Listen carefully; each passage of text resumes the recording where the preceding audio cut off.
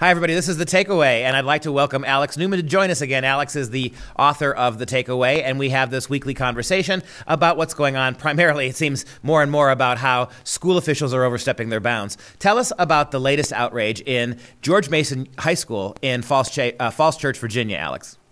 Uh, well, thanks very much, Duke. Pleasure to be with you.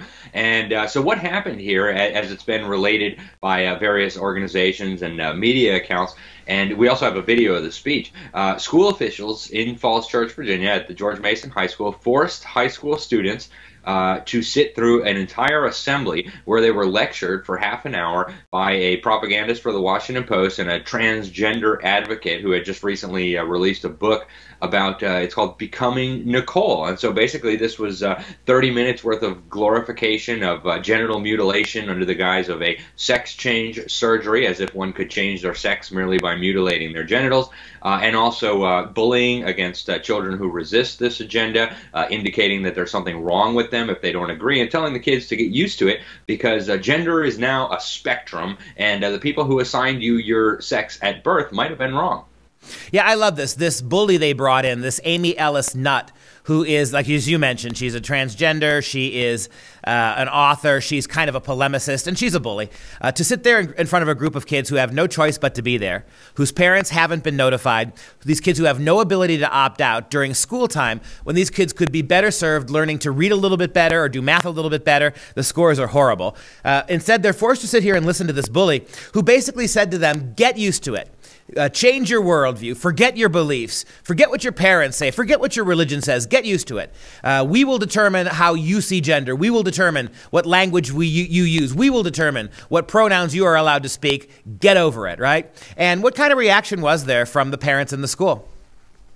Well, uh, from what we know, uh, pretty much everybody with uh, two brain cells to rub together was pretty outraged. And you know, this wasn't like they had a debate between uh, you know a transgender advocate of gender confusion and genital mutilation on one side, and then you know somebody on the other side saying, "Well, wait a minute, kids, here you know you probably don't want to chop off your private parts and uh, take uh, puberty suppressing hormones and you know do irreversible damage to your body, potentially lifetime infertility." Um, you know, none of that. So we only had one perspective here, and this Amy Nutt from the Washington Post uh, actually told the students about uh, it was like a big promotion for her book too this book called uh, becoming nicole. It's about a, a, little boy who apparently was very confused and uh, believed himself to be to have been born in the wrong body. And so uh, prior to reaching puberty he began taking uh, puberty suppressing hormones so that his body would not develop as it normally would and then at the age of 17 he was castrated and uh, this Amy Nutt was apparently there for the castration and was celebrating how wonderful it was that uh, this young boy had decided to uh, to be castrated. Uh, you know, and it's not even that he was an adult; he was still underage when this happened. And and so there's a whole book glorifying this, and this is what the poor kids were subjected to. But based on some of the questions, it seems like there are at least still some students with some common sense left. And uh, one of them asked, uh, you know, aren't you just glorifying a, a, mental health issue here? And you know, we could quibble about whether this is really a mental health issue or a spiritual health issue, but uh, you know, clearly, at least not all of the children were uh, were suckered in by this narrative.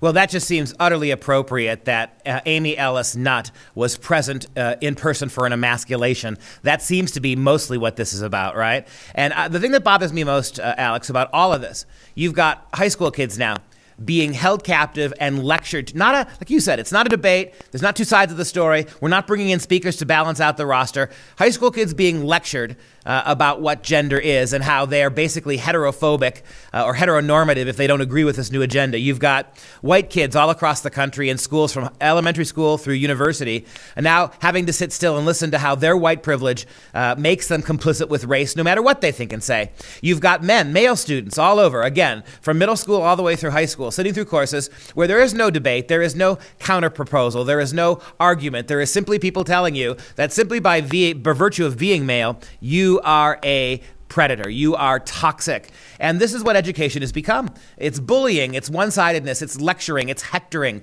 Uh, teachers, administrators, the people behind this don't feel the need to even present information anymore, as if there might be more than one way to look at it, only the progressive way. That's exactly right, and uh, and that's what the kids are being presented with. They're being told that this is truth. You know, to the extent that there is truth, it is what the schools tell you, which is you can be any gender you want, regardless of your chromosomes. And uh, we're in a very dangerous place now. This this is serious abuse of children. Uh, the American College of Pediatricians has it exactly right when they call this institutionalized child abuse they're right. I mean, you're you're brainwashing children to believe that if they cut off their private parts, they're somehow going to be a new gender. I mean, you know, just even a few years ago, that would have been so ludicrous. The fact that this is going on now uh, really tells you how fast we're sliding down into the abyss. Well, and you hit on one of the key hypocrisies that drives people crazy. This is the academic left. This is the educational left in this country.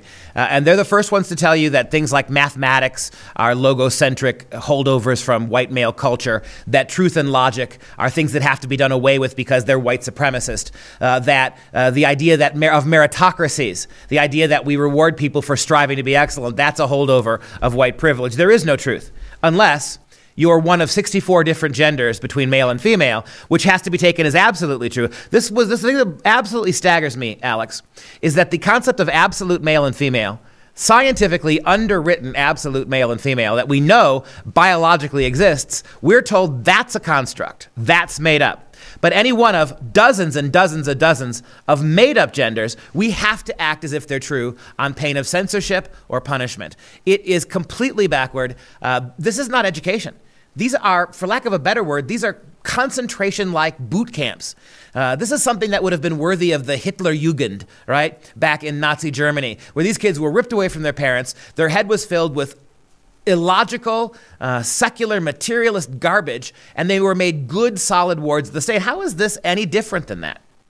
Uh, you know the parallels are incredibly striking. Uh, and they're even exploiting the same human psychological vulnerabilities to advance their agenda. You know uh, just like the, the nazi regime and other totalitarian regimes have told people if you question you're a bad citizen. Uh, if you disagree you're a bad citizen. You're an enemy of the people. You're you know whatever nasty remark. Uh, they're doing the same thing now to american children. If you disagree with the idea that there's 64 genders, if you stick to biological fact that there's two sets of chromosomes, male and female, then you are a hater, you're transphobic, you're a bigot, you're you know all these different things. So they're exploiting a psychological weakness that people have that they don't want to be labeled nasty terms. They want to fit in with the group and so on. Uh, and, and it's really nefarious. I, I, think people need to realize, and I think if you watch some of the excerpts of this lady's speech, or you know, lady, um, maybe that's not the right term but of Nutt's uh, speech, uh, it comes through loud and clear. I mean, she sits there and calls people bullies who don't think, uh, you know, grown men and, and, boys ought to be showering and using the same restroom with little girls.